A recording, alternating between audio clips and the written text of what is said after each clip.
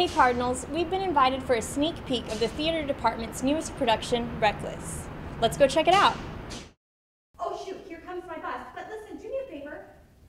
No, I will, Jeanette, but I can't.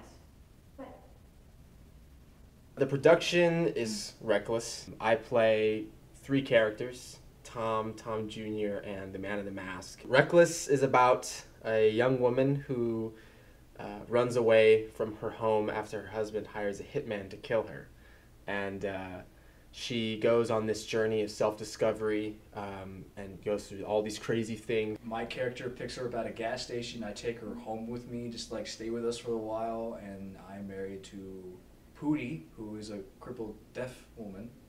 And yeah, it just And gets. the craziness it- that follows that. Uh, I play um, Pooty. Uh, she is Lloyd's girlfriend slash wife, um, and she's a paraplegic. Uh, she's deaf. I actually did not know sign language before getting this role.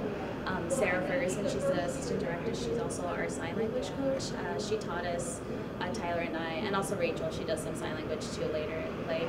Um, yeah, so she taught us. We had separate re- rehearsals, and we learned our, our sign language lines, and um, it was pretty awesome. People should come see the show because, first of all, there's great talent.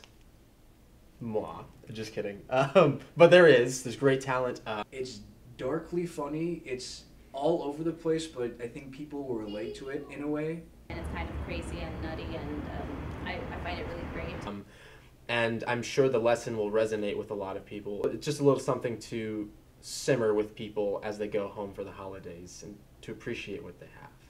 Come see Reckless at Come, UIW. come see it. Yeah. Running 13, 14, 15, and November 18, 19, 20. Be sure to check out Reckless. UIW students get in for free. So what are you waiting for? Reporting for UIW TV, I'm Karissa Rangel.